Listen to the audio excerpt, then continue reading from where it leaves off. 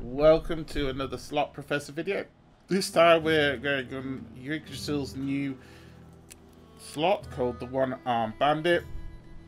We're going to do a hundred one pound spins. You have to try and guess what the balance will end up um, at the end of the 100 spins. In this case, we're doing 100 one pound spins.